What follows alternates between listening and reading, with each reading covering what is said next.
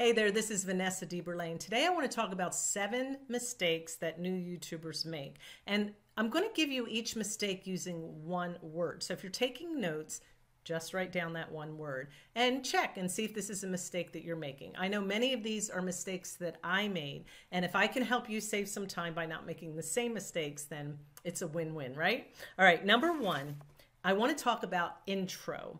I know when I was a new YouTuber, I kept feeling like I had to go out and create this little 30 second intro with real cool music and, you know, upbeat and all these fancy, quick uh, images of myself, right? And you've seen them. There's some really neat ones out there. And I really got hung up on that, thinking that I had to have that. Now, are those bad?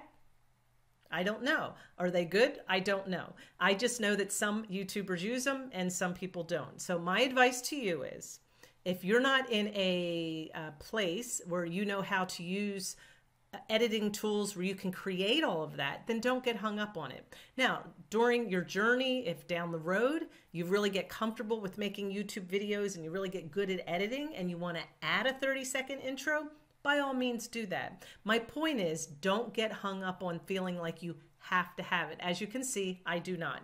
I am not a fancy um, editor and have all these fancy different things on my videos because my philosophy is to keep things simple and direct, no fluff. All right, so that's just me. Now, where I work on my intro is anytime you open up any of my videos, you're going to know right away what I'm talking about. So my intro is telling you what we're talking about. So make sure you're very clear, introduce yourself, and very quickly be very clear about what the video is about. So those are intro. Decide how your intro is going to be and make sure you're clear about what is on your video when somebody clicks it and they start watching. Okay.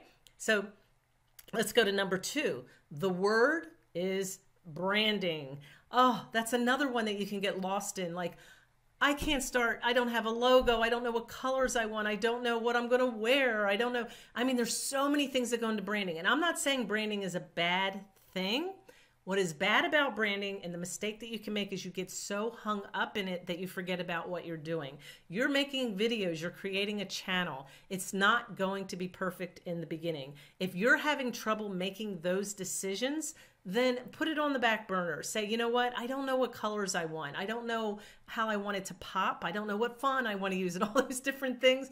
It's okay. I have watched and followed other YouTubers and I've watched them change their mind and it doesn't make me think any less of them. And actually, I have a couple I've been watching that have really grown. Their subscribers have just taken off and they've made some changes and i'm like wow i love what they're doing. And it just it helps inspire me to say maybe that's an area that i need to change. You're going to see me grow. You're going to see me make better decisions and and really um, fall into who i am and what my branding is but it all happens over time. I watched a video by somebody that's very popular and she said your brand is you. People are watching you because of you. They're not saying oh Vanessa has a bright yellow color that I really like, so I'm going to follow her. It has nothing to do with that. Will it help it pop on my thumbnails? I'm not using yellow, but would it help it pop? Sure. And maybe it looks eye appealing and it makes people click, but in the end, people don't stay because of a great thumbnail or a great title. They stay because they like you and they have made a connection with you. So in the end, you are the brand. So be yourself. And I know you get tired of hearing that, but people like you because of who you are. If you're funny and you like to, you know, during your YouTube videos and you're really good at, you know, your sarcasm or whatever, people like that, they're going to stick around. They're going to like that. Or maybe you just accidentally make silly mistakes and kind of know how to recover with grace. They're going to stick around. So pay attention to branding, but don't get hung up in it. Number three, we're going to talk about results. There are people that start their channel and they get really discouraged because they're not getting quick results. I'm going to share something with you. When I first started my channel, my goal every single day to was make a video. I'm not telling you that's the right way or the wrong way to do it. I um, learned that from another person that that helped them uh, stay consistent. So I followed their same style. But I had eight subscribers by the end of my third month. I wanted to um, build my channel organically, and I didn't know about you know a lot of things. I was brand new. What those three months did for me, it taught me how to get in front of the camera, how to get better, and all these other things. It was like my training period. But I only had eight subscribers. I could have just shut down and said, I'm not doing this. You know, nobody's watching. Um, I suck. And maybe I did suck. But you know what? I kept going because I wanted to keep growing and I wanted to keep getting better. And I wasn't expecting quick results overnight. And i'm still not. I mean i'm still not at a million subscribers right? There's a there's a long journey to get to those places. But i want you to know that it takes hard work it takes consistency and you have to keep going all right? So don't make the mistake of thinking that you're going to get quick results and you're going to get monetized overnight and make all this money. Can you make a lot of money? Absolutely. But it takes time. I, I heard Rich Dad Poor Dad. I, I one of the books that really inspired me. I'm getting off track here a little bit, but bear with me. I remember him saying in his book, "You have to be willing to work for free before you can appreciate working for money."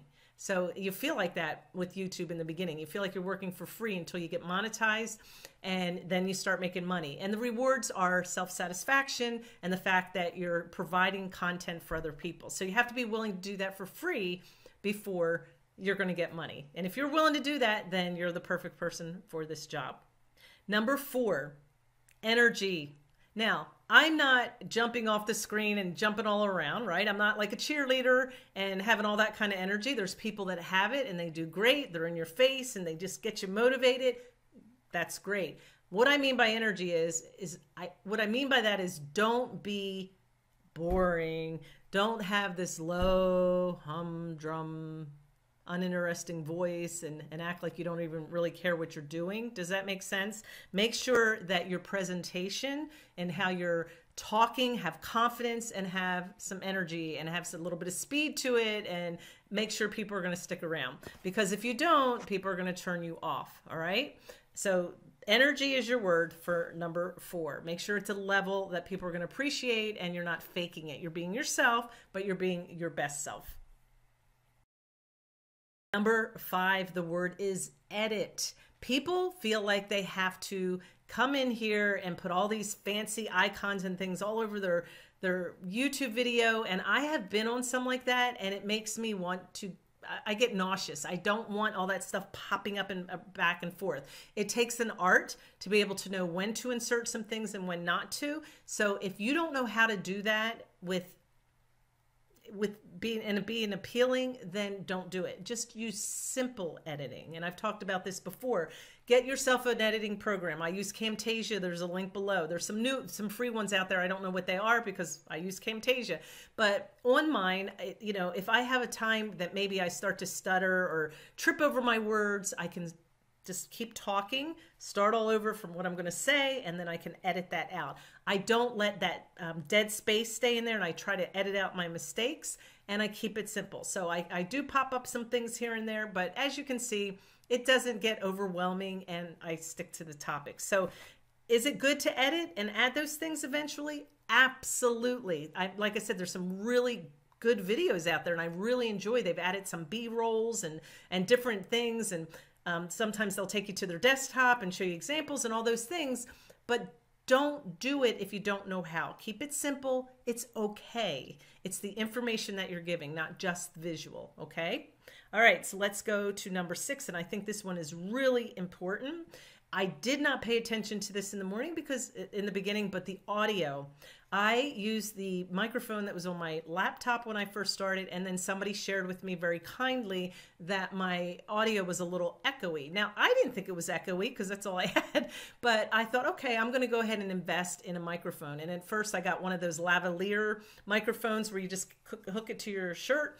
Um, it, they're like 40 bucks, maybe even cheaper now. I could use it when I used my iPhone, I could use it when I was on my laptop best investment I ever made. After a while, I went ahead and invested in one of those Yeti microphones. Took me forever. I did all this research, but I'm very, very satisfied. So both those links are below. Check them out. One's a little bit pricier, but I have both now, and I'm very happy with that. And I've actually had people tell me, man, I like the quality of your audio. Good job. So make sure your audio is not echoing and you've got a good um, audio because people are listening to you and they're going to turn you off if, if it's if it's bad okay all right and the last one the last word that I want you to remember is copy. You're like, copy what? Many times when you're starting out as a new YouTuber, you're spending a lot of time watching other people, and that is a good thing.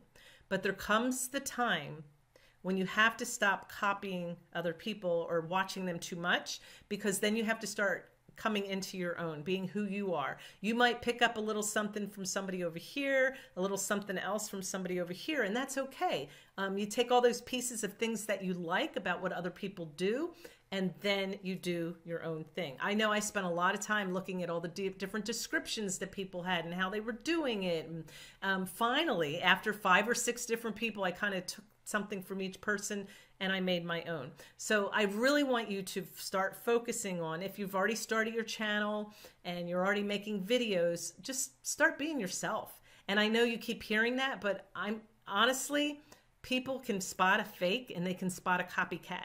And if you're being like somebody else, um, and and they're very popular. Well, all the people that like that person are going to keep watching that person. They're not going to say, "Oh, I like the way that Joe is copying John over here and I'm going to start watching him. No, you're just going to watch the person that did it in the first place. So don't spend too much time copying other people.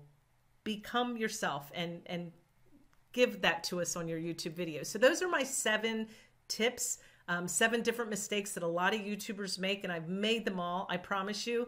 But hopefully, that'll save you some time so that you don't make those same mistakes because we are going to love watching you. And if you're just getting started and you want other people, you want to share your channel, please feel free to share your channel below. Don't put spammy links below where you want people to go and, and, and see your business. I want you to sincerely give us the link to your channel or just say, hey, check out my new channel and I'll go and I'll check them out myself. But we want to see what you're doing and we're going to leave some comments for each other so that we can spread the love and help each other out, okay? All right, I hope you enjoyed the, this video. I hope you got something out of it. And don't forget to subscribe. I will give you two, two videos a week sharing how to build your business online with affiliate marketing and using YouTube as your platform. And I'll see you on the next video. And again, thank you for watching.